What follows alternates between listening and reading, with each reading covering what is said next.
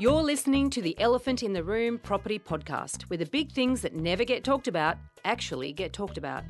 I'm Veronica Morgan, real estate agent, buyer's agent, and co host of Foxtel's Location, Location, Location Australia. And I'm Chris Bates, financial planner, mortgage broker, and wealth coach. And together, we're going to uncover who's really making the decisions when you buy a property. Veronica will introduce our guest in a moment, and I can tell you that you want to listen on because we interview a lady who's got probably the best property data in the industry, and we talk about how economists and researchers and what data you should actually rely on. This is a cracking episode, and we ask her some massive questions on just how dangerous data can be. That's a hard bit with top 10 lists that if you don't if you don't explain it properly, it can look a little bit like rubbish data. Please stick around for this week's Elephant Rider Bootcamp. And we have a cracking Dumbo of the Week coming up. Before we get started, everything we talk about on this podcast is general in nature and should never be considered to be personal financial advice. If you're looking to get advice, please seek the help of a licensed financial advisor or buyer's agent. They will tailor and document their advice to your personal circumstances. Now let's get cracking. In this episode, we pick the brains of Nerida Conisbee, Chief Economist for the REA Group, which incorporates the familiar websites realestate.com.au and realcommercial.com.au, amongst others.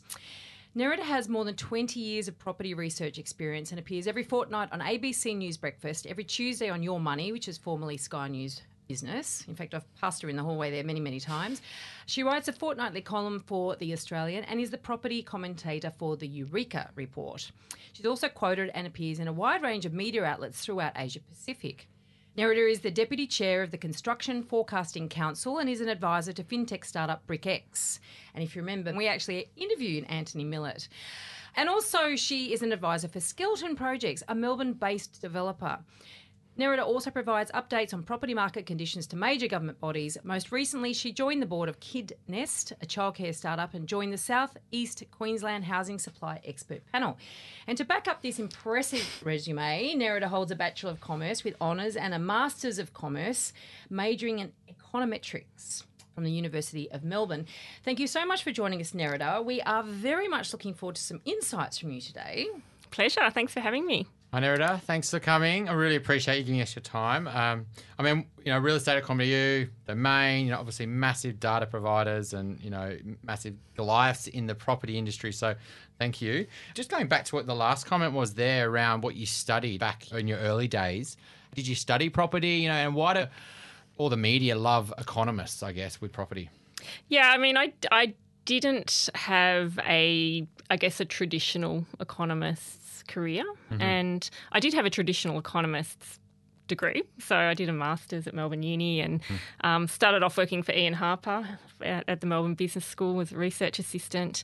Um, but I graduated in the early 90s and mm-hmm. there were no jobs and it was really bad in Melbourne. And so I think at the time, I don't think I did at the time, I got an offer from um, the, the federal government to work mm-hmm. at Department of Transport, and then I also got an offer for a firm in Melbourne that did uh, forecasting for shopping centres primarily. So um, turnover forecasting, so sales turnover mm. forecasting. So um, I got into property that way, and it was um, you know, and then and then it just got like, stuck, and I really enjoyed it and found it fascinating. And um, and at the time, you know, property wasn't seen as the coolest place to be. You know, it was really um, most of my peers were going off to investment banks or they were going to government or you know to to banking or you know whatever. But they were you know they were doing kind of more traditional roles, and this wasn't. But um, you know now it's served me really well because I've I've come out at the end of it with you know 20 plus years experience in property at a time when people are, are quite obsessed by it. I think that's the key point there. 20 years experience, right? And now commenting on property. You know, I find that a lot of media outlets want to get economists' opinion on property, but you know they haven't got 20 years working in property. So you know, why do they go to economists who haven't really you know, do they don't study property? How does that all work? You know. Yeah, I mean, some some some are really good. Like you know, you can tell that they understand the fundamentals, but you know, you do find some of them try to treat property like equities mm. or you know like a bond or you know they, they don't look at it the same way as, as people who have been in the industry for a long time so they don't understand um, particularly the what the differences you know how, how diverse property is you Yeah. know when you're talking you know when we're talking sydney right now um, you know it's quite different to what we're seeing in hobart for example if you you're talking perth you know perth if you read the headlines looks bad news for a long time but you go to cottesloe and we're, we're seeing really decent growth in both rents and also values so Yeah. you know it is highly diverse and um, and also I guess the emotional appeal of property that you know if you're buying Facebook shares you know you're, you're kind of buying them because you know of p- perhaps investment fundam- you know likely Yep. because of investment Yep. fundamentals but you know the drivers of of buying a home and particularly an owner occupier Yeah. is is often nothing to do with with the investment fundamentals it's about you know family or it's about your kid's school or Yeah. you know you really so love good. the area or or whatever You've touched on the two big points, right? Markets within markets within markets. And so when you talk about the property market, it's pretty pointless. But if you talk about Cottesloe housing market, that's a different conversation. So I think you're right. I think a lot of economists do like to play the oh, prop, Australian property market's going to fall 11%. Well, what does that mean? People don't buy the Australian property market; they buy a house in Cottesloe. Yeah. and your other big point there was around home ownership, and that drives a bigger portion of the market than the investor market. You know, maybe seventy percent. So if you don't understand how owner occupiers think and what they really want, how are you going to understand the, the property market? Before you joined REA, did you understand, you know, the markets within markets as much as you do now? Because, you know, seeing access to all the data that you have now, that's probably helps you to see what people are actually doing. Yeah, I mean, it, blows me away how much data we have. We um, one of the things that is really exciting for us is the search data. Or for me, really. Yeah. I think everyone else loves it too internally, but but for me, the um, the search data is what I find so fascinating because you know we we kind of have you know me, people in property know that you know being near a good school you know probably makes sense and is Yep. good for value or you know a train station but you know we can we can see that you know we can see that some areas um, people are far more drawn to um, you know we can see switching behaviour you know when prices get too expensive in a suburb we can see people move away like Manly was a good example it hit three mil median um, we started to see search activity move inland in the northern beaches Oh, so I love that. yeah, it's fascinating. and it's also yeah. like you, you know it, you kind of know it, Mm. and, you know, and, and probably, you know, and for sure, if you spoke to a real estate agent in the area, they'd be like, oh, you know, Manly's getting a bit exy. Yeah, We're yeah. seeing people go to, you know, Narrabeen or not Narrabeen, probably not, but Allambie Heights. But, No, but that's the really it's the ripple, ripple effect, right? Yeah. So you know, one suburb becomes, and this is what happens in a boom: is one suburb becomes too expensive, people get priced out, they miss out at auctions. Where do they go shopping? The next suburb, and then they go there, and then that gets too expensive, etc. So you're, you're you're saying that you can actually see lots of data that proves that. And you can see it going back again the other direction. Right now. Yeah, exactly. I was about to say we can Yeah. see Manly's gone back up the list. So, you know, now that prices are dropping, all oh. premium premium Sydney suburbs are being pushed back up the list, which they really dropped out the last couple of years as people were a little bit fearful about what was happening there and, you know, looking for cheaper options. Have you got any reports on this? We do. We do a property outlook report every quarter, um, and then we're constantly putting out data um, stories. So we do data stories on our site. We do data stories with with News Corp. Obviously, we're Yep. you know majority owned by News Corp, so we do a lot with News Corp. But I meant on the actual data of the ripple effect going out and search Um, over the boom. Well, I mean, we have we have data definitely. Yeah, if you look at our the most popular suburbs on our site, so when we talk about most popular suburbs, it's high views per listing, so very very high views per listing. And if you looked at the top ten list. Two, even probably 12, probably two years ago, you'd see a lot of Central Coast suburbs on that list. Um, you'd see definitely see see Allambie Heights. That was that was one that was featuring for quite some time. But um, but now it's Manly and it's Paddington, and you know Right. we're really seeing pretty expensive Sydney back on the back on top. I want to get back to this, but the top 10 list is something It's a little bit of a bugbear of mine, just quietly, because, you know, I know that everyone loves a top 10. Oh, top 10. And real estate agents love it too, because I've been into open houses and I've had the agents waving under my nose, you know, a printout of some report, and it might have been an REA one. And it's like, look, you know, this suburb is, is top 10 searched on, on realestate.com.au, see how popular it is. And I'm like, okay, can we get a bit of context with that? And oh, that's great. And when was that? And it might have been three years ago. It was on one report and they're, they're, they're flashing it about. And it does irritate me. I mean, one list, I was actually doing a little bit of research for this interview, and, you know, I was looking at one of your articles, and in there's a top 10 report, and Birchgrove is on there. I know Yeah. Birchgrove very, very well. And Birchgrove is a tiny suburb. And, you know, if there are 10 listings, then well, there might be only three listings, in which case you've got a lot of people that will always look. And if there's only three, but there might be 10, you know, the next month, and it could go down to one. And if it happens to be the month when there's only one, it's going to look like it's right at the top of the list, you know? And so, therefore, all this data or these lists, I guess, don't tell the story behind why that place is on the list. And I find that a little bit infuriating and frustrating. Yeah, I no, I totally agree with you. I mean, I, I think the thing is that with our data sets, we always make sure that they are statistically significant. So, you know, we, we're very careful that we don't quote suburbs where there's been two listings. You know, for example, we always try to make sure we have the volume um, there. We also try to make sure that we've got a really good time series available. So we're not talking this week we're talking, you know, six months. So I suppose that's the first point.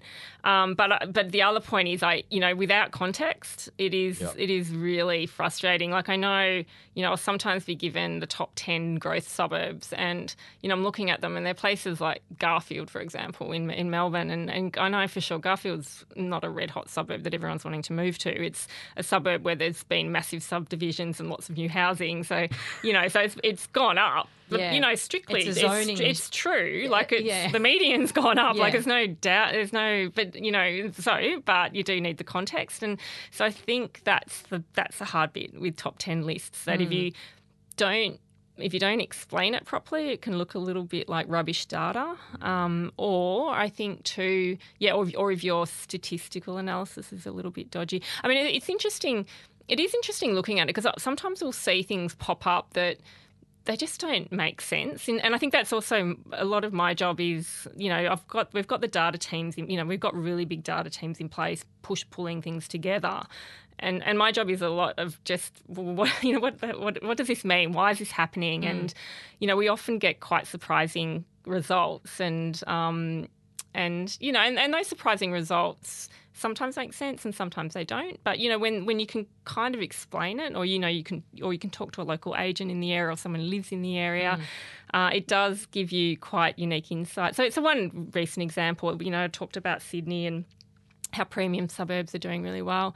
Um, Winston Hills popped up on the top ten list, and you know, Winston Hills, Western Sydney. It's it's you know, it's not that expensive, and you know, I couldn't kind of work out what was happening. But you know, when I had a bit more of a dig deep into what was, ha- you know, trying to work out what's happening, it, it looked like an area with really good schools, and you know, I've, I, I think that was probably the driver. You know, there didn't look like there was any major infrastructure project. Sometimes a shopping centre redevelopment can kind of make a difference, but you know, there's usually something going on that leads to this, you know, this rush of activity. And the, I suppose the other thing too, you know, when we talk about popular suburbs, we're not talking about 10 more people looking in that Yeah. sub suburb. We're talking about thousands and thousands and thousands of clicks. Like it's it's you know if if you look at the number of people searching our buy site, you know it's you know millions a month. You know it's mm. not it's not me doing a survey of real estate agents or my gut feel. You know like it's it is really backed by big data mm. and. You know, so I like to think our data's the best. Yeah. but, you know, it's, quite, it's quite different data in the sense Yeah, that it is you know different. you go to CoreLogic or you go to you know, Yep. you know, any of those big data houses, for instance. There's really only two big data houses, aren't there? I mean, in terms of property data, there's like APM and and CoreLogic, and pretty much any data that you get hold of comes via one of them, and and they come via the ABS to a large degree. Yeah, Or, or or the valuer general. Yeah, Yeah, yeah. So they come from a singular source and it's then filtered through to them and their various treatments of that data, et cetera, et cetera, and then onto their consumers and, and what they do with the data. Whereas what you're doing is actually, I, I presume you're looking at that data as well, but you're also overlaying that with actual behavior of people that are either just curious about property and love sitting online and looking at listings. I imagine there's a bit of that as Yeah, well. definitely. Property Um, porn. Yeah, the property porn thing. Um, you know, but it's actual consumer behavior, isn't it? And so here we are. We've all signed up for this. You know, we didn't like the Australia card. Or you guys are probably too young to know the Australia. You might you might remember it, but you know the Australia card that that Hawke wanted to bring in in the eighties. We all Wasn't argued. born. Well, we all uh, shut up. We all argued against it. Well, I didn't. I can't remember to be honest whether I argued against it, but we we all Australians didn't like it because it was basically um, put forward as an attack on our privacy. And look at us now. Oh, we, we yeah, have online activity. Google those. What is it? A Google Home in your house. You have Alexa in your house. We're actually we've got Siri in our hands. We're willingly giving away all this free information about ourselves and our privacy is kaput. But anyway, that's just a bit of a side issue. So you've got access to this stuff. I mean, how is that turned into something valuable? How do you work out really what's what's sentiment, what are lead indicators? You know what I mean? Like, where does this all make sense, and how does this really make your understanding of what's happening in the property market more insightful? Yeah, I guess you know the big thing it is forward looking, and it's not looking back. And you know we bought a company called HomeTrack recently, so we've kind of you know we do we've got our own internal CoreLogic now, and so we're getting a lot more pricing data and uh, you know developing our ind- index and all of those things, and it's great to have that. But um, the thing with the the search data is it. The longer I've been at REA, the more I've seen how predictive it's been, but Yeah. it's not an exact science. So, you know, it's not a done deal to say, you know, in, in Perth at the moment, we always see Shenton Park as the most in demand suburb in Perth. But Shenton Park, yeah, it's going okay, but it's not going as well as Cottesloe, which is going crazy. So, you know, so it kind of it doesn't always hold, but there's been a number of instances where, you know, we- we've picked it. Like when we we looked at Hobart, you know, Hobart was one that we could see clearly on views per listing a, a massive increase from about 2014. And um, and when we saw it, when I joined REA, which was three years ago, 2016, I, you know, and they, they showed me the data, I was like, "Whoa, this is incredible!" And it was incredible because Perth, no, sorry, Hobart at the time was going nowhere, and you know, people were very suspicious about Hobart. You know, no, everyone's like, "Oh yeah, if there's any activity there, everyone's just speculating. There's nothing going on there." quietly, just still suspicious about it, to be quite frank. But anyway, but, but you know, then Hobart went on to, to Yeah. achieve massive growth, Yeah. and you know, and you look at then you look at the Hobart economy, and it, it's doing pretty well, and and it's moving from a government-run agri type economy to you know tourism, education, and so there's been this big change, and it's also a small economy, so it doesn't you know when you look at these little economies, it doesn't take much to really give them a boost and and really change the way that they behave. Um, so Hobart was a really good one. Um, So, oh, just on that though, so you saw activity in terms of searches increase from as early as 2014. There's obviously a period of time, a lag time, Yeah. before you start seeing that play out. What was triggering those searches in 2014?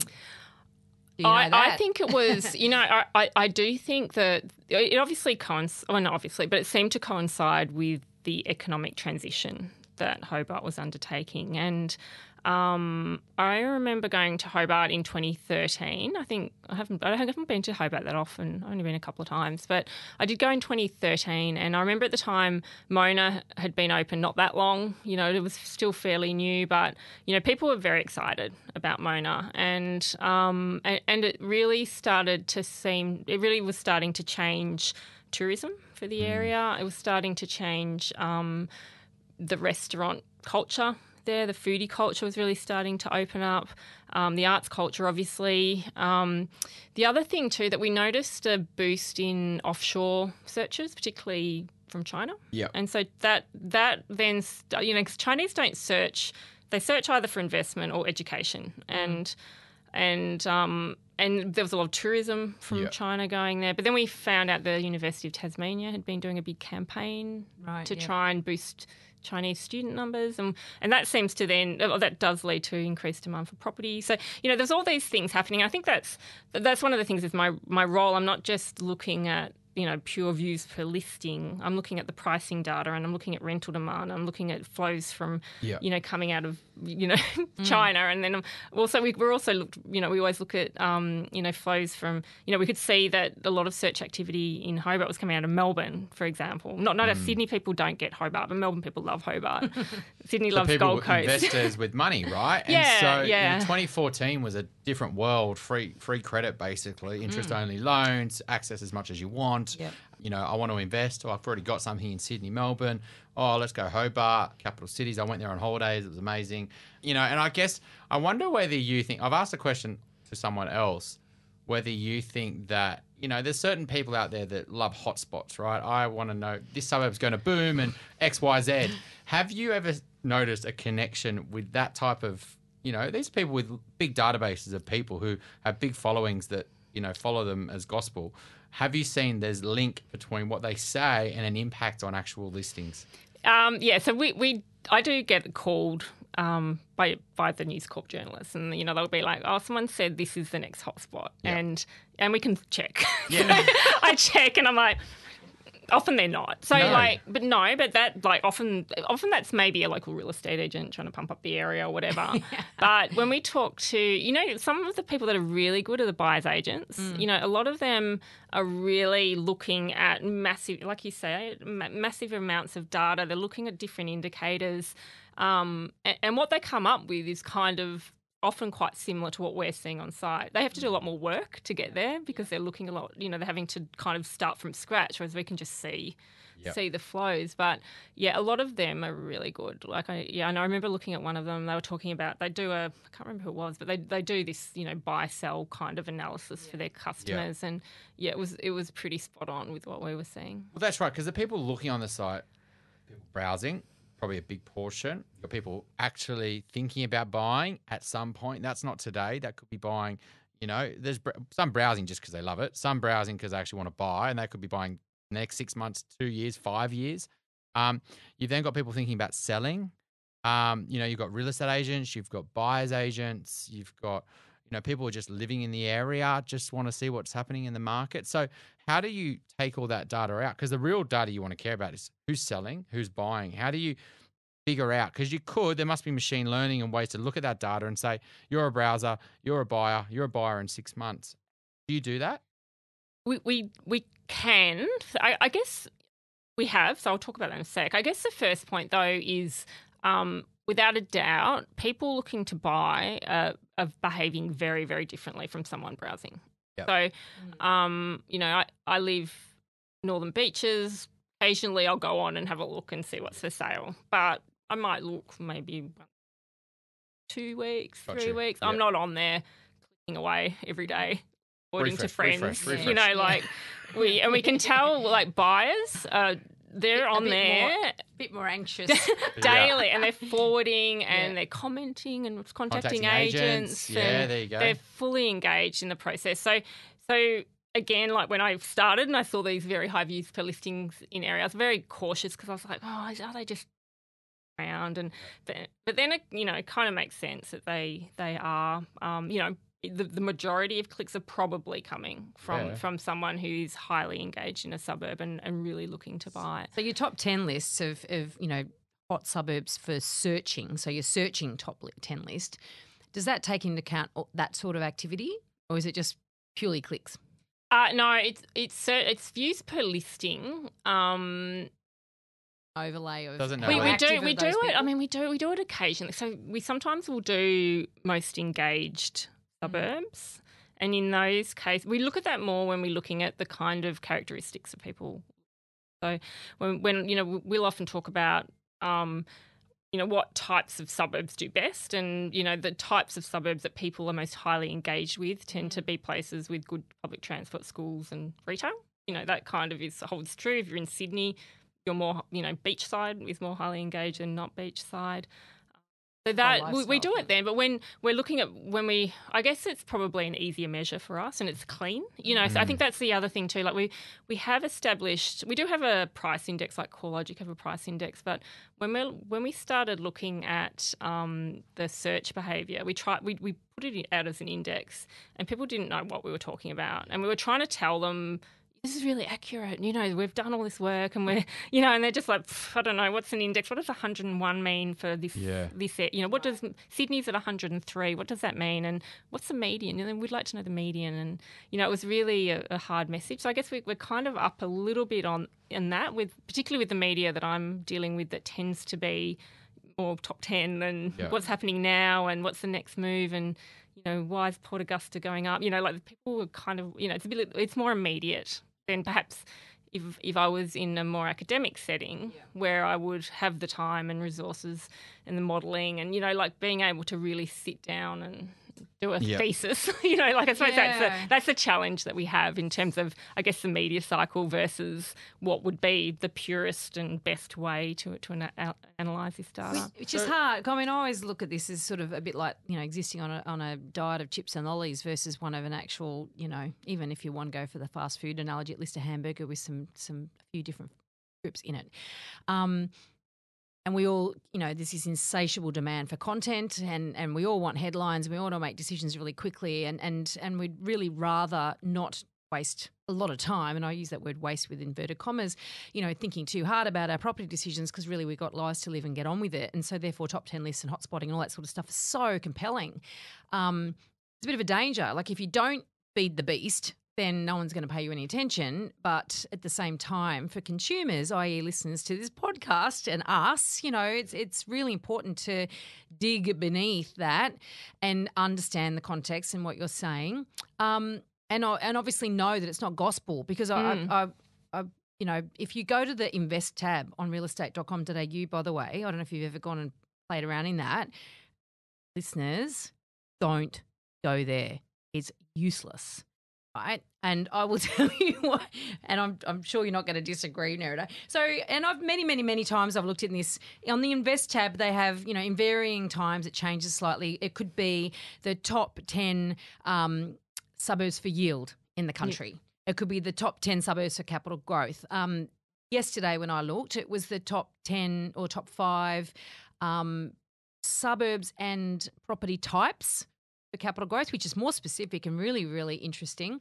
And the top 10, sorry, the top five for cash flow, right? So, of the top five for property types and capital growth, you've got number one and number two was um, I've never heard of, Forest Dale in WA, right? And so three bedroom houses was number one. Number two was four bedroom houses. And if you look and then you go into actually the data, there's not a lot that have sold. And In fact, there's only data that goes back a couple of years anyway. And you actually look at what's increasing in value, and it's actually the, you know the development sites. Mm. And so, it's a common one for price growth. yeah, absolutely. Because of course, a zoning change means that suddenly you've got a usage change on the land, and then you've got a different type of buyer that wants it, and it's, it's more valuable, right? And so, I guess what gets me is that when you've got those lists that are obviously it saves time to just have them generated by algorithms and whatever, and then they're the top two, and the third one was um, I think it was East in Melbourne anyway. a- Um, apartments, and then the bottom two was suburb in um, Victoria called Mickleham.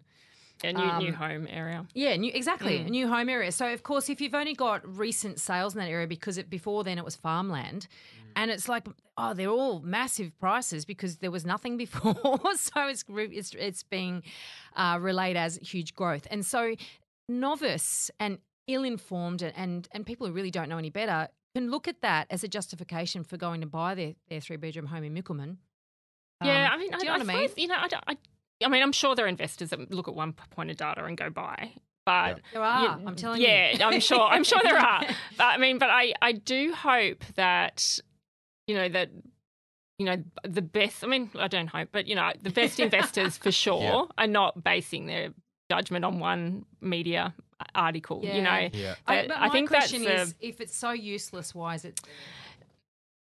I guess it's not always useless. Like I think um, definitely Mickleham, you're not going to buy there as an investment, and and even the other thing that I'm always telling people is even price growth historically, there's no guarantee of future price growth anyway. Yeah. So you you do need to be pretty. to be honest. it's probably yeah. you know, 'cause- the uh, well, pri- it's actually good because if you look at then the next suburb, Yeah. that's probably the one to go. Exactly. next. Yeah. So it's, it's a it's actually a leading indication Yes. to say not look there. don't look, there. near there. Yes, That horse is yeah, bolted. totally. Yeah. So I think I think people they do need to be careful with data, and they need to Yeah. make sure that they obviously don't base their decisions purely on data points, and they do look at commentary that people write and. Mm.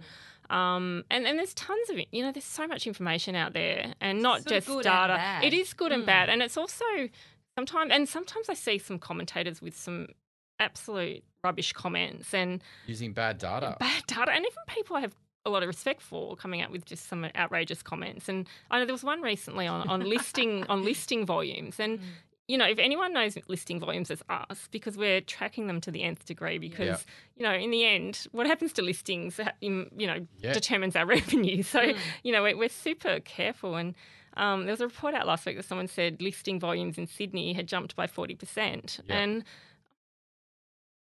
That means our Yes, revenues it- jumped by 40%. Like, oh, our REA That's should be having a good year, but I mean, we're having a decent year, but we're not having a 40% uplift No. in listings in Sydney. Like, this.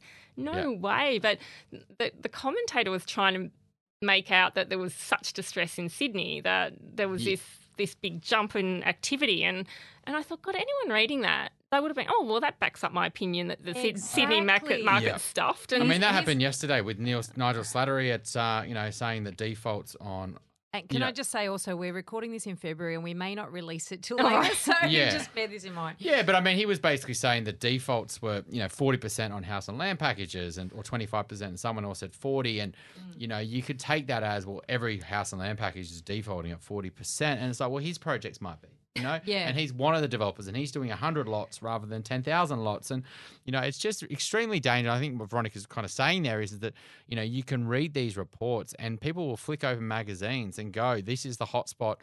And then the Mm. person who's writing that report or doing that is basically using a lot of the time they're on flawed data. Yep. And they're not got they haven't really gone through and built amazing cases. They've just gone and picked a few pieces and said, look, that's enough. We've got it out there. We've produced the content. I'd like to just talk about the search because I think it is an amazing thing to have, right? If I could see who's searching what, how are they behaving, Mm. what are they searching, what time, you know, what how does media play into it? What percentage of home buyers are using real estate company? Because I know that's one of your marketing feels where, you know, like your property's not on real estate company, you're not on the market or whatever. What percentage of people are actually using real estate company to buy? Um, well, we know, sorry, I should know this off the top of my head. Um, we do have the three times the audience of our next major competitor. Yeah. So, Which would be the starting with a D. yeah, starting Um, with a D. ends Um, in an We can N. say because we're not sponsored by anybody. No, you're not sponsored. Okay. Um, The and green then, one. and then, and then, yeah, million. I mean, what do we have? I, I think it's. I will look it up for you. But So, uh, yeah, well, let's it's millions. There's millions of people on the site every month. Yeah, you know, So we, know, we know for sure don't that that's eighty the case. percent, ninety percent of home buyers must be because end of the day, you've almost like you've got to go to realestate.com.au. Like you're saying, you're three times more than Domain. Where else are you going to go? Like somewhere else. So my underst- my worry is, is though that you know that data is so you know end of the day, Australia is is our biggest property or asset. You know, seven Yeah. trillion dollars, three times Well, super. haven't we just shaved 10% off that? Shaved it off, but Six um, $6.3 trillion. dollars. I think it was seven point seven. Now it's down to seven. Um, but you know, seven trillion dollars. You know, our super industries two. You know, three uh, shares two, three. You know, it's it's huge, right? You've got the best data out there by a, you know a huge margin on understanding what's happening with buyers. Um, and that that data is, I guess, so much. You know, you can actually see in real time how things are moving. You know, is is anyone kind of coming to real estate when you're saying, look, you've almost got like inside information on the market here, and you've got to be really careful how you manage that and how the people who see that data, you know, act on that because you kind of got you know, highly valuable things that you've only the one who's got it. You know what I mean? On, on Australia's biggest asset, is there kind of controls around who can see this stuff within realestate.com.au? No, I mean we're we're very free with our data. Like we we put put it up on our site. You know, we've got interactive infographics where you can check a listing in your suburb. You know, we, we're we're very open with it. Um, But we- I can't see who's who are, are those people. Are they Sydney? Are they Melbourne? How old are they? What are they? Well, no, we can we can tell we can track IP addresses, so we know where they're searching from. We can't tell age, and um, unless they're logged in, so you know around twenty percent of people log in to our site, so we, we, we can get a bit better insight on, you can on that match group. that IP address to other data. like Yeah, we can. Yeah, we, you we can can. I mean, we don't use Facebook for that reason. I mean, we are. I mean, there's a lot of privacy issues too around data, so we're Yeah. very careful with that because it's been such a blow. So we're very careful. I guess you know we do have big data science teams, and and they've done quite a bit of work modelling behaviour. So you Yep. know they they can tell who is likely to be a first home buyer based on their search behaviour, based on how they look in certain areas and mm. the way they they forward to people. You know, like they can. There's lots of things that they look at, but they can kind of work it out. Um, they can tell an investor in the same way. So they, they, they can do it. I guess one of the problems we have is is not that we don't have this ridiculous amount of data and it's incredibly value, valuable because it's such an amazing place to be and it's it's getting the really good data people in house to be able to to get that data out. They're working for Facebook. Uh, we do have very good data people, but the vol like trying to get them, they're, they're Yeah. just not that many of them. No. Like, and Well, because it's it's, the- a new area, like it's not. Well, the, the world's data, right? It's the game of data now. So whether you're working at Amazon or Facebook or Google or whoever you are, everyone wants that data. I mean, that's the business is based on data advertisements. You can sell other products, etc. The more you know about me, realestate.com.au, the better. And I, I guess it's just with when you're talking about an investment asset, it's just you're actually talking about being able to make money. So I not only can I make money off selling you things, I can make money off basically predicting your behavior. I just, I guess, I, I just worry that that, you know, if I was an investor, I'd want to see your data, and I guess that's you know, there has to be some type of control around who can see the good stuff because otherwise they may use. but also, for- then, the market becomes biased because of that data. You know, like, and I, and I I think that's problem, isn't it? it is Yeah. a problem because I know, you know, I've been talking about Hobart for a long time now, and it, and it keeps going, and I'm thinking, God, maybe I should just quieten down a bit. But yeah, I'm, of course, I'm not driving the whole market, but you know, it it does have that flow and ripple effect that the more people talk about it, it gets this kind of um, excitement around an 100%. area, and people start. I mean, a bit, it's not as bad as Bitcoin. That was the extreme, but you know, it, it, it can well, happen it in happens. property. It's been, you know, you've talked. There's been a I very mean, famous, mining towns. I mean, mining Yeah. towns was a key example that you know people tipped you know millions and million, billions probably into to buying mining town suburbs and, and got terribly burnt. So And you just have to type in pump and dump into Google, and you can pretty much understand. It's a pretty famous strategy of people who want to manipulate markets. And what you would do is you would basically, um, you've got a following, you've got a voice, you've got an ability to impact people on scale through your, you know, your words basically. And what you do is you go and buy in the mining town. I go buy in Port Hedland. I buy it for fifty thousand dollars, and then I wait for a bit of you know good infrastructure getting announced, and then I go bang bang bang, and I put out lots of information. Now, like I, I know that market's very small, so if I can tip the needle by creating additional demand for those houses, I create competition. If I create competition, then I start creating price growth, and once I've got all the ingredients, I then I just have to wait for. The, and start and let the frenzy happen, and I, I- you know, and it's true, and it's what It happened happened in sounds Bitcoin. like you- yeah. It happened in Bitcoin. It happened in Yeah. everything, and I personally believe that it's happened in property, and we just haven't talked about it. And so, Yeah. you know, it's it's it's just something that I guess Uh, in people, terms of people buying property in general, or do you think? In, Well, I think Hobart's a really good example of this because, and a lot of people I know that tipped Hobart are denying that they've got that much influence, and I'm like, them individually may not have that influence, but certainly when, as a cohort, everyone starts talking about it, then you've got the data reflecting the fact that some people have been talking about, it, and you've got a small populate or a small um, area there. So therefore, any any change is is quite monumental, particularly coming off such a low base. You know what I mean? So then the needle turns, like you say, and and it's like, oh, there's something happening there. Then you start reporting on it. Then, you know what I mean? And then it becomes a self fulfilling prophecy. Look, I think I mean Hobart's different because it, it it looked like speculation at Mm. the beginning, but it then the economic growth story was was the driver. I, I agree though that the growth can. as well um, started because you you're an, you're a home buyer in Hobart. You weren't concerned. If I was a first home buyer living there, I wasn't concerned about prices running away from me, and that's what that fear of missing out is what hit in the Sydney market. Mm. yeah, hit Hobart. definitely hit. And so Oh, your young families in Hobart are going, God, I'm not going to be able to get a kid. My parent, my kids aren't going to be able to ever own a property, and I'm going to have to leave Hobart. And then that's what was part of the boom, and that's what's that's where Hobart really kicked. Is home buyers in Hobart started buying, right? People who live there. So what data do we have in terms of the proportion of investors versus home buyers? Uh, we don't have that. I know I we can't tell. I didn't give you that Yeah. heads up on that one, but I mean that that's what we need to know because I mean the Yeah. reality is once the needle tips although, over, although Hobart has a rental crisis, so there's actually not enough Mm. investment housing. So Mm, Um, I mean, Hobart. The other thing with Hobart, which is also the really the big impact, is that they haven't built much. And if you look over the last decade, they've built hardly anything. Right, so, so there's a you not only had Mm. economic growth, you had sure, you had investors coming out of Sydney and well, probably more Melbourne. Yep. Um, but you also had no housing. So, you know, now we're in a situation in Hobart, prices have gone berserk, rental levels are going berserk. The rental vacancy level is, you know, next to zero. You've got a homeless problem. So, you know, it, it's. And that's the home buyers buying because you're taking investment stock off. There's no new stock coming on the market, but let's say there's 100 properties and they're 30% of 30% of them are owned by investors. When they sell, they sell to a home buyer. And that's where the home buyers are buying. That means less housing stock, which creates Yeah, I mean, the other thing too, Airbnb also had an Yeah, impact. that's so, true. Yeah. I mean, it, there's just been a series of challenge, and and it's not all positive. Like, I mean, you talk about, oh, Hobart's great, it's gone crazy, Mm. but like you said, Impacts if you're a social first home buyer, you're you've been priced out.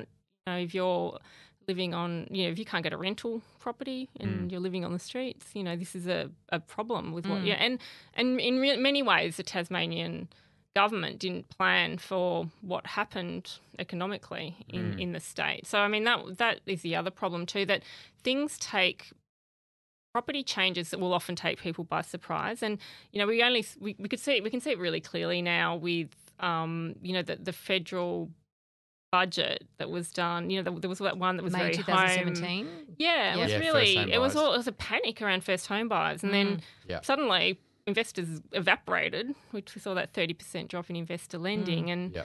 First home buyers were back and they weren't back because of any government incentive oh, they were back because of state government incentives that that helped certainly in Sydney but it was really because the market cooled and they felt a bit more comfortable and you know Yeah. they, they were back in so you know it is it is hard I mean Yeah. I, I do think governments trying to do stuff at a federal level is is impossible for housing like I just I, I Oh, think can you have a chat to the ALP? What's your thoughts on that while we're there? 'Cause we have we have done lots about of talks around negative it. gearing Yeah, and capital negative gains and tax. capital and- gains tax. But I mean, don't worry about all the other policies around franking credits and all that Yeah. sort of Mm. jazz. But just fundamentally, what's you know your personal belief around you know Labor's policy, whether it's a good idea, whether it's not, whether you agree or not, and yeah, what's your thoughts?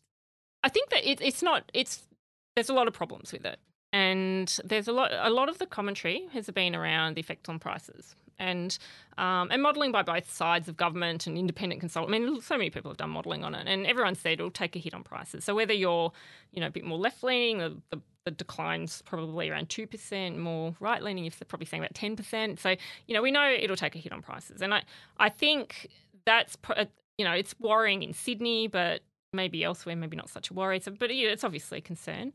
Um, Yep. The bigger concern is around rental levels. So, you know, people were saying no, there'll be no impacts on rent, but realistically, take away investors. They're the only people providing rental housing in Australia are mum and dad investors. Yep. There's no one else. Take them Chinese away. investors. Well, they've gone Yep, as yep. well. Mm, So, yeah. yeah, Ch- well, offshore or local Yep. investors, and and they're they're mum and dad investors out of China as Yep. well. Yep.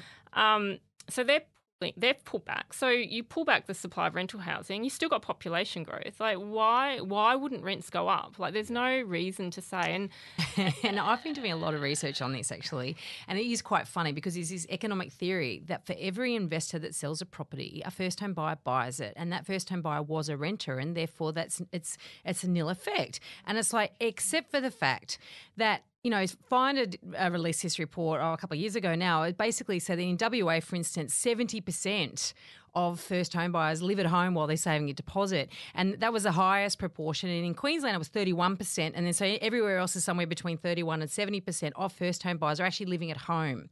So they buy an investment property off an investor. They're not reducing the rental pool. You know, like they're not having any impact on the demand for rental accommodation. And um, that's just that. Sec- and what about the first home buyers that are currently sharing, house sharing, and mm. all that sort of stuff? I mean, it's or so- someone arriving from another city. You know, like you're coming. yeah. I mean, a lot of the rental activity is, you know, I moved to Sydney three years ago. We didn't buy straight up. And there's Exactly. no way we were moving Yeah. to Sydney and buying a house straight up. You know, we spent a year renting and we worked it out. You and know. it doesn't even touch on population growth as you mentioned just then. So it's it's this economic theory. And I love that. You know, you, oh yeah, that's perfect sense until you actually start thinking a little bit further about it, and yet.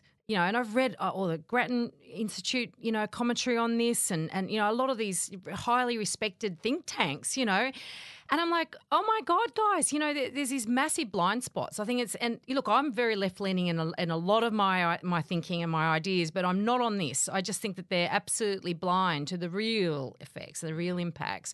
But that that whole idea of you know first time buyers. Yeah, I mean Um, that doesn't even barely make sense. I- So is there any other kind of points that you said there? You know, obviously around you know price falls is going to happen at some level. The impacts on rental. Was there any other things that you? Yeah, I mean, and also regional towns. So if you look at Wagga, you know, Wagga has a very large rental. Um, a lot of people rent, and the Yeah. reason they rent is not because they hate Wagga; it's because they're not there for long. You know, Mm. they're maybe there for defence Nurses. or working at the hospital Yeah. or education, and um, and Wagga doesn't need new housing. So you know, the, the new the ALP policy will will apply. Negative gearing will apply to new homes, not existing. Mhm. So Yep. you know, you then have a situation. Fine, maybe for Sydney or Melbourne, but what happens in Wagga with renters there? yeah, that's a really Yeah. good point. and yeah. if they're lower Mm. income, you know, and I suppose, and the other thing with rent is that renters are already up at, up against it in terms of market conditions. That Yeah. you know, if you were renting, you know, I always give this example of you know Richmond in Melbourne. If if you bought a home in Richmond in Melbourne. Um, ten years ago, um, you're probably paying the same off your home loan. You know, there's probably been no impact on your monthly payments. But if you were renting in Richmond 10 years ago and you were still renting now, you'd be paying more than double Yeah. on your rent. So, you know, you've got a situation where long-term renters are already at a disadvantage in that they they are very susceptible to market forces. They hit retirement and if you don't own your own home and you're still paying rent and you know, so renters are you don't need much of a shift in rental values to really take a, a and Yeah, they're already vulnerable, right? they're, very they're not- vul- and they're more likely. You know, if you're a single parent, you're more- more likely to rent. If you're low income, yeah. you're more likely to rent. You know, they're not the Yeah. sort of people that you you really want to stuff around too much on their living expenses. Mm. So, So we need to be really um, careful we need to be how really we careful, treat yeah. and the people who do and they're help not. them. A lot of them aren't in, in a situation to even buy a home. You know, they're not. They're not. They're not. They can't get the deposit together. They. Yeah, so you it's, it's this sort of utopian ideal that we can all buy a home as long as investors don't buy. Yes. And it's like, well, actually, it doesn't really work.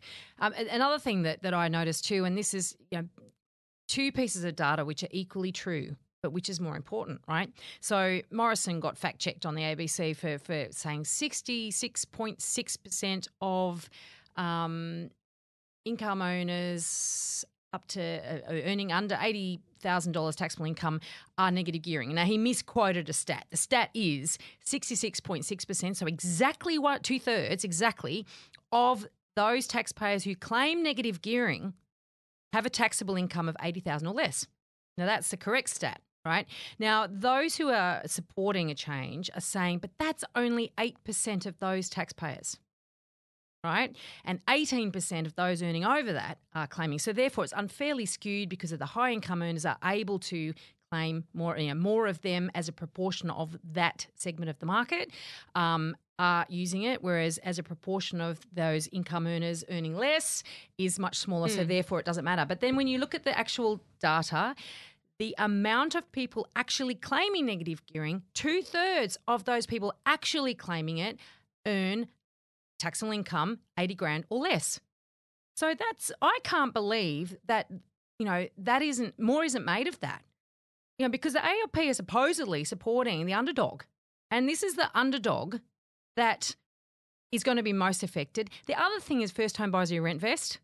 They won't be Mm. able to do it. Negative gearing will actually impact on their affordability. Um, and the other thing that really gets me is that in their policy, it says that and I, I, I misquote here, but basically that if you have other investment income from other sources, be it shares or property, you can still negatively gear.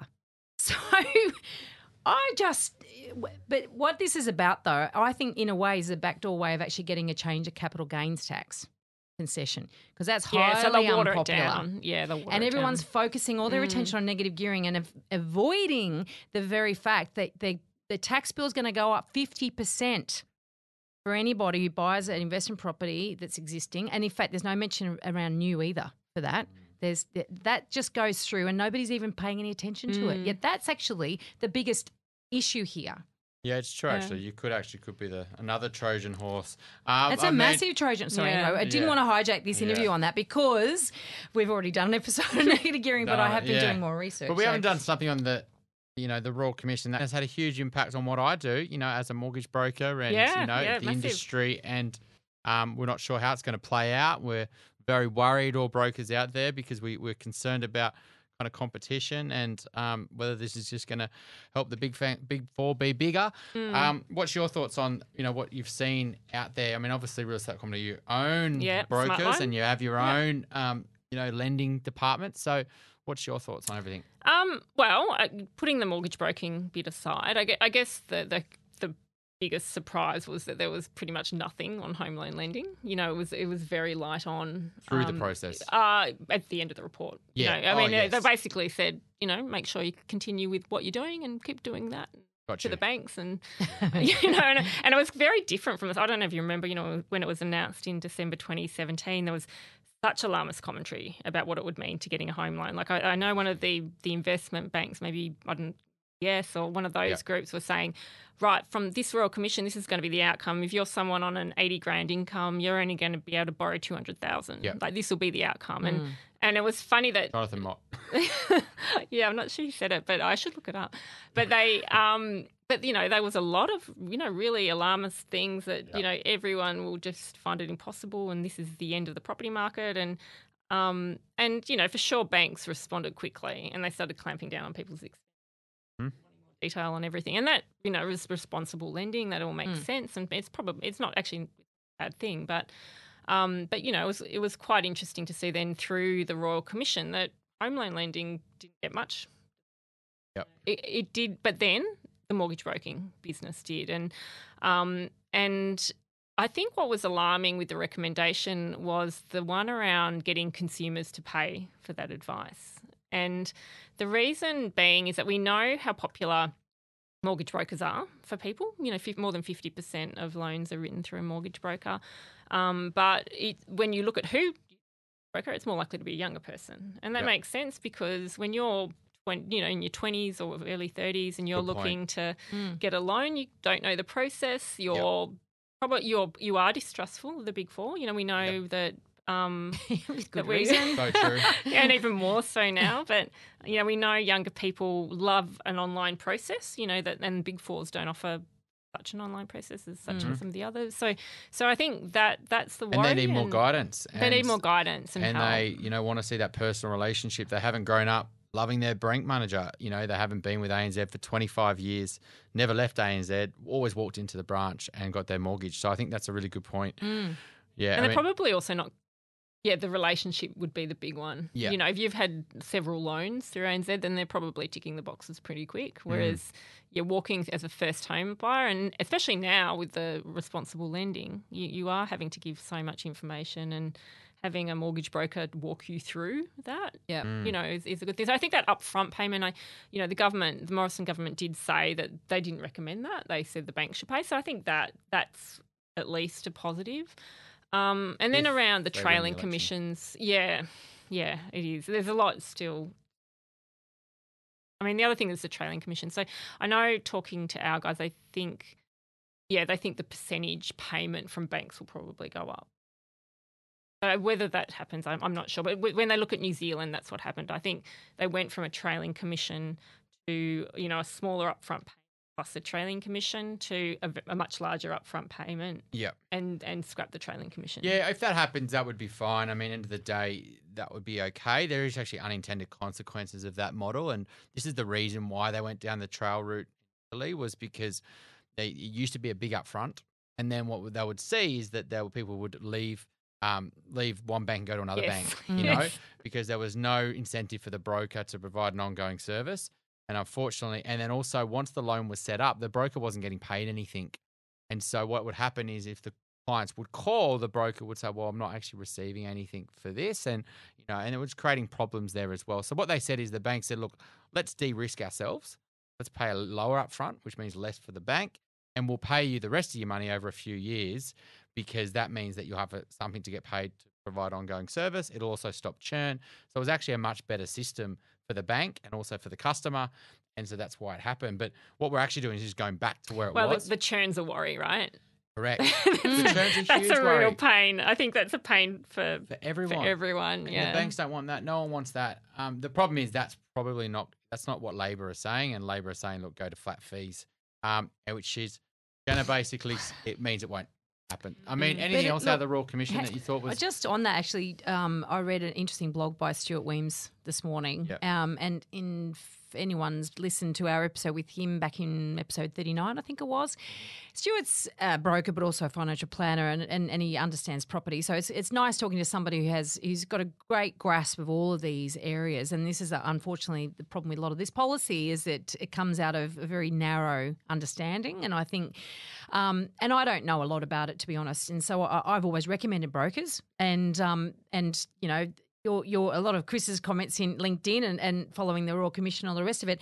So I've been looking further into it. and I read this interesting um, thing, and it was and he came up with um, alternatives for you know ways in which I guess policymakers could look at different ways of doing this. And one that he came up with, which I thought was great, was basically you can give the consumer the opportunity to opt out of that trailing commission. And so therefore, but it's not immediate. So it has to be over a two year period. And so if the if the consumer says to the bank and the banks drive this, you know, like, do you want to opt out? Yeah. Okay, well, that was because obviously the broker's not providing ongoing service and value and all that sort of stuff. And so then there's a year for them to make good. And if they don't, then they tick it again and then they get out of it. So there's an incentive there for the broker to actually nurture those relationships, provide that ongoing value. I mean, that's just one. I'm not necessarily saying that's the best one, but it just shows that you can actually apply some thinking to this and put more nuanced um, changes in place that that will actually ultimately make the industry better, be a better outcome for consumers, and actually not throw the baby out with the bathwater. Yeah, I agree. That's, that's actually a smart option. You Yeah. can actually easily do that. Yeah. There you go, Stuart. So go.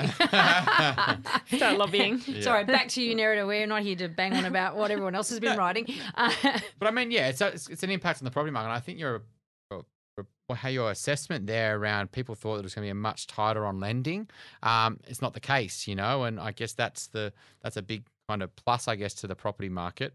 I mean, what is real estate community seeing out there with parts of the market, and are we starting to see, you know, certain pockets, you know, start to list a lot more that you see that you know there is a bit of a problem in certain pockets where there's so many on the market that are, are staying on the market you know i type in rosebery in units into you know Yeah, real estate Yeah. and you'll see there's 700 or 900 Mm. um, and they're not selling so yeah.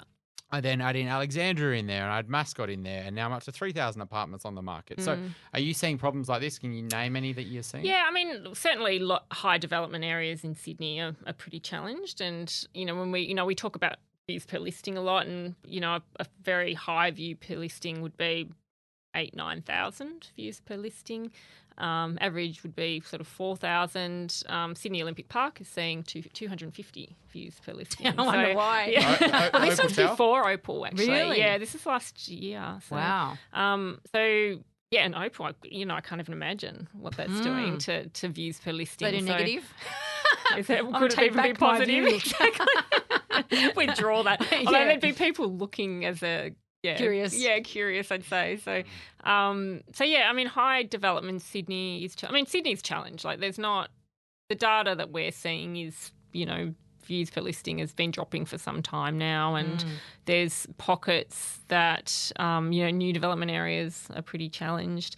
Um, new development areas primarily that aren't within existing areas. So you know, like DY at the moment actually doesn't look as bad because there's you know there's still lots of activity in that area compared to say Sydney Olympic Park, which is purely a new new mm. development area. So Do- Sydney is Do you Sydney's distinguish challenges. between the two in your data, or We- is we it really can. just suburb? Yeah, we can. We, we we look a little bit at um, highest views per the highest number of views for development areas. So we we will look at that. But I, I have I have looked at it in the past. So I have to have a, dig that data out. Because it always amazes me that, and you did draw that distinction that, that you've got developments in areas where there's existing stock, so therefore that's going to mask or or dilute the the uh, interest. Negativity or Well, whatever. yeah, it's going to dilute both the positivity of the existing stock and the negativity of the new stock. Um, so that sort of changes the story a little bit. And then you've got Olympic Park, which is pretty clear. You know, if there's 250 Mm. Yeah, there's per, some per real listing. challenges there. Yeah. Um, yeah, Rosebery would be a very interesting number. But um, I think that that's really, really interesting stuff because I think, I don't know, it's a weird one. I mean, you've got all these sales data that actually is price data is due is actual transactions. You know, so that's ultimately what happened. And I think, you've got yeah, although you have to be careful with pricing data for new because for apartments in particular, you, you often will find apartment values go up and they're in areas where it's just new stock. yes, so you fact- kind of look, you look at, oh, apartments are amazing, let's invest in them. But, you know, really it's just. Oh God, yeah, I, I new in terms saw of what the developer incentives that are factored no, in, just or because they're new. Yeah, So there's a premium you pay for new, so the price goes up. Oh right, okay, yeah, you're getting yeah. a price and so then the because there's a- median, it's the same thing as the house and land suburbs. So you get that you get that push up in value. So if you actually looked at Sydney Olympic Park values, they look quite good. Yeah. you know, but it's because Yeah. it's it's all new development. topped the list. So the Herald comes out every quarter with their, their four little tables. There's the, the top 10 or top 20 suburbs for growth in houses and apartments and the top the bottom 20 for top 20 for loss or the bottom 20 um, for houses and apartments. And Kirrawee topped it for apartments. 15.5% growth in a falling market. The rest of Sydney's gone down 10%, but Kirrawee, if you buy an apartment, has gone up 15.5. And it's like, how can they publish that? Yeah, I know. I and know. not or provide- at least footnote it. Or, Exactly, know. it's I just, excruciating. it is excruciating. Yeah. I know. I agree. So when I tell clients, I do tell them to go to realestate.com.au and I play around on it and go into the. But I don't love. I don't really like the buy tab. You Mm. know, like the I or the s- you know or the lease tab. I do look there sometimes, but I always look at the sold tab. yes. yeah, the soul tab's really Mm. interesting. because Yeah. the sold tab's a fun bit, right? Yeah, and then yeah. you go, well, I'm here. Actually, this is actually what's happening, Mm. not what the real estates are, you know, under quoting and potentially putting price guide or price reduced must sell. There's all these new low like. No, pr- not price, Mm. but all these great selling tips now, um, which is quite funny. Um, but I mean, the sold tap's where you're really going to get the, the source, right? Because you can actually see a date, Yeah. you can see a price, you can go on your map. You're depressed when you look three years ago in your Um, yes. Why But didn't I it- buy then? But it's interesting though, like, and the, the problem is though, is, is, is how much stuff's going on there and what's not on there. And I guess how is is real estate company kind of tracking what's selling off market, what percentage are we actually representing? You know, have you got that those type Yeah, of stats? We would for sure. Like it's um, but I mean, uh, it's- one of the challenges we have is self-reporting Yeah. as well. Mm. So, um, so auction clearance rates are really interesting because um, they're self-reported, and something selling after auction would be classified as an auction sale. Mm. So, yeah, so when you say lot of- selling after auction, so just say it doesn't sell under the hammer. yeah, So which is an auction sale, Yep, but they go away negotiate for a few days and Oh, three right, days later. okay. Yeah, that- that would be that would generally be classified as. well, a- that's interesting. Mm. So that is yeah. it. So when you actually look at data from the Valuer General that says auction sold at auction, they're actually quite small properties sold. Anyway, that's an aside. But Yeah, but we can, but yeah. We can actually, we can, but yeah, the, the self-reporting is a bit of an issue. So, um, yeah, we we we we do rely on agents telling us exactly what happened, and they they not that they're lying. It's just maybe they just don't think it's that important. They'll just tick a box and And does every Yeah. property that gets listed on the buy go to the sale sold? yeah. I mean, we if we if people lost? say they don't want a price on there, we we, Yeah. we don't. Yeah. But it's still yeah. in there as price not It's- disclosed. yeah, yeah, it's- I- mm, I oh, yeah, encourage sure. buyers, obviously not our clients. We've got you know logins and various things, but certainly anyone that wants to know, well, how do I research sales and property? I always say go into realestate.com.au and other portals and look in their sold Mm. and check the date. Um, Yes. As well, but look at the floor plans and, and and really go do drive bys, or preferably if you're actively looking, you've actually seen the property yourself anyway That's when it's really Um, valuable. and keep an absolute tab and keep get a spreadsheet and actually Mm. track these sale prices and actually and then whenever you're looking at a property assess how that one compares to the one that you're looking at buying and, and obviously adjust for market blah blah blah blah there's a lot in there but you know it used to be that, that you could pull up a list and it, it went back years and there was no date on it you really had to go digging to find the date it's like oh my god that was a bargain it was like it was two years ago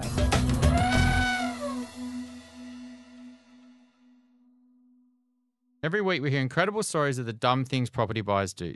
Dumb things that end up costing a whole lot of money and or creating a whole lot of stress. Mistakes that can be avoided. Please, Nerida, can you give us an example of a property dumbo? We can all learn what not to do from these stories. Um, I, I guess people trying to play the market is Mm. one that I, I, I, I kind of question, and I think um, you know, if you're an investor, being very, very well educated and buying not because you think the bottom of the market has happened or the market's going to continue to grow forever is is really important. And um, you know, a f- friend of mine, they they owned a home in Elwood, and the, the husband decided 2014 Elwood um, Elwood had peaked. Decided to sell the family home, and you know, Elwood obviously kept growing for another three years, and you know, they got priced out, and you know, like that's that's things that I'm like, especially with the family home. I'm like, why with the family home? And they didn't buy back in; they no, just rented. They Oh, were waiting. I love it. They I mean, were sorry, I don't love it. That's no, so, it so sad. awful. But I, I Yeah. you know, I just think, why? You know, not with the family home. Don't mess with the family home for a Mm. start. Um, but even investors, you It's a know, big like gamble. it's a big gamble. Well, they just yeah. think they're smarter than everybody else. I mean, Yeah, I you mean, know. I, you know, I have so much data, and I, you know, I, I Mm. quit. I'm so, You wouldn't I'm make so that call. cautious. Yeah, I'm yeah. so too cautious.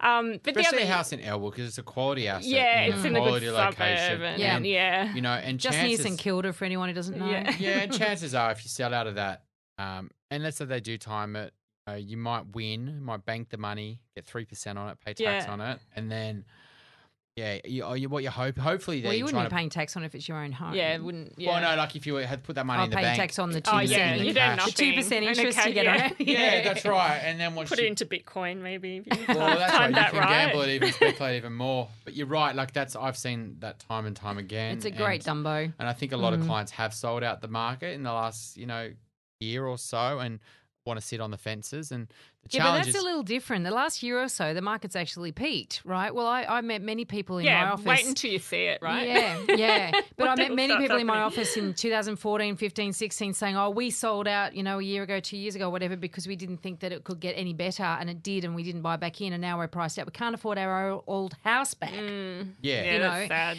That's terrible, but it It's happened sad. a lot. And it's happening at the moment in the sense that um, you will see people making decisions based on their take of, you know, whether it has Hmm. or hasn't bottomed and all that sort of stuff. And I tell you what, from investors' point of view, if ALP do get in and get all their changes in and you don't actually buy an investment before that happens, if you were thinking about it, I'm not saying you should rush just because of it, but if you weren't thinking about it, you were going to get stung by the capital gains tax at the end, and then you're going to wish you bloody did act now instead of actually trying to pick the bottom of the market. So, you know, long term, and this is what uh, housing or, or I should say investment property investment decisions need to be taken with a very long term view. Yeah, view. totally. Yeah. And you know, there's knee jerking because of what's happening in the short term. I, I don't think it ever really um, bodes well, does it? No, I mean, the other one that I think you know people will get caught out is those people that amass very, very quickly, Mm, yeah. and particularly in Sydney, you know, you could see a lot of people with their interest-only loans, you know, Mm. gearing themselves up to the eyeballs, and Mm. you know, one one month vacancy in one of their housing, to, Yeah. you know, could lead to a total collapse in their whole portfolio. So yeah. it's yeah. you know, I think that that too, and you know, when you talk, you know, I know those investment magazines love the one to thirty properties. Oh, they in do. five years, and I always like shudder when I see those articles. I'm like, they, they've they've they've ridden the market, and it's been pure luck. Yep. that And they've bank- been the able to do it. But yeah, and the banks have played a part. Definitely. So you know the banks have been you know part of that journey. You know they're on risk on, they had Mm. big borrowing capacities. You know they way you could play the system with valuations um, and revaluing and getting equity out easily, and you know it was all all amazing. If you cut back their strategy, it's been bank credit, and it's been interest only. And so you know bank credit got cut, forty percent drop in investor borrowing capacities over the last slowly over the last four years, chopping away at it. Mm. Um, and then interest only loans basically got hit because you can't refinance now, and your five years interest only is coming up. And so a lot of these people who built big portfolios are scrambling because they can't refinance and they can't extend their interest only. and also, period. if you're in Sydney, the values have dropped. Exactly. Yeah. Yeah, it's Uh, pretty messy. And you Well, can't run away from the debt because even if they've done, you know, you know, they th- they think they're smart and they've gone. Well, I've uncross secured them, and you well then if you do make a loss on a property, you've got to pay that money back. So you actually just hold on to poor property, uh, and it starts to get bad quickly. So I think actually fundamentally on all of that, that's a positive thing that we've had some changes. So that, that actually is a disincentive. stop You that can't actually do that perfectly, yeah. anymore. Thank you so much, Nerida, for your time. Uh, I think we have run a little over. Yeah, that's a good episode. That's what it is. we got lots of meat in there, and we covered a, quite a lot of uh, uh, the gamut, and we got some great insights from you. So thank you so much for joining us. Pleasure. Thank you. Thanks for having Cheers. me. We want to make you a better elephant rider, and this week's elephant rider training is Well, we just had a really, really interesting uh, conversation with Nerida all around data and um, what it means, and also the type of data that is out there, you know, easily available and readily available to all sorts of consumers, and why we need to be careful. Okay, so one of the things that everybody loves is a top 10 list, and we talked about that, and we all love the idea of hotspotting, what's going to be the next market to take off. And so, really, we've laboured this point in many previous episodes, but I guess one of the things that I just want to remind you of now in relation to this particular episode is the deep research required in order to make sure that you are doing the right thing for yourself before you take any notice of those hot spotting lists. Now, for starters, you want to make sure that if it is a hot spot, it's going to be a long term player, not a short term player. Okay, so you really got to look at the fundamentals, and I've talked about this many, many times. You've got to look at the economic fundamentals of an area. You've got to look at the uh, employ- employment and make sure there's a good diversity of employment. You've got to look at incomes, and you've also got to look at population growth. But the thing is, and this is the big thing, once you've got those fundamentals right, you've picked an area that's actually a good, solid area and will be great for long term growth, then you've got to make sure you get the asset selection right. If you get that wrong, then you can blow it. Now, if you are going for investor stock, right? And that's where people get trapped buying brand new, for instance, then you're, you're going to undermine all the good work you've done in choosing a good location. So, really, you've got to understand what drives that local market, the individual market. You've got to make sure that there's more owner, owner occupiers in that area than there are investors. And you've got to make sure there's more owner occupiers buying at that time as well than there are investors because the investors are those who actually push up a boom. So, when you see that balance tipping over, say 30% of investors buying in a market at any particular time, that's a point at which you really need to get a bit nervous around that because beyond that, it's really potentially prices being inflated by investors rather than owner occupiers. So the last thing I want to say about hotspotting is that if he is in an area that is not necessarily predicted to have long term growth, i.e., it doesn't have those long term fundamentals underpinning that sustainable growth, then you have to have an exit strategy. You have to understand that you're buying in, you're wanting to make a quick gain, and then you've got to get out again and you've got to time that and not wait for the market to peak. You've got to get out before it peaks. Uh, so they're just a couple of important things to think about when you are looking at these hotspotting lists. Tune in for our next episode when we interview Susie Jacobs. Now, Susie Jacobs is a little bit hard to put into a box, really. She's sort of a business coach, I guess, maybe the best way to describe her. She may be better known amongst female business owners because she established She Business and sold it a couple of years ago, but is very well known in that space. Now, she has since then set up a business called Finesque, which is almost like a financial concierge service aimed at women, although Susie does explain it's not just for women, but she does explain why she set it up and the different conversations that we need to be having about money. But particularly in this episode, we're talking about personal responsibility. Now, when it comes to money or property and or property and business, these are big costly decisions that we are making. Costly can be very rewarding, or costly can be extraordinarily damaging if we get wrong.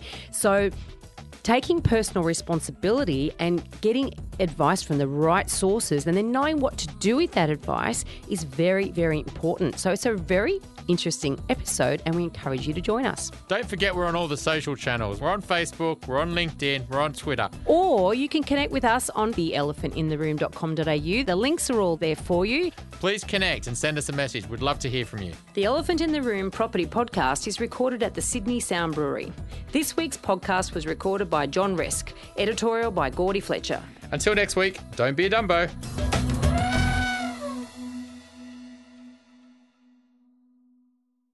Now, remember, everything we talked about on this podcast is general in nature and should never be considered to be personal financial advice. If you're looking to get advice, please seek the help of a licensed financial advisor or buyer's agent who will tailor and document their advice to your personal circumstances with a statement of advice.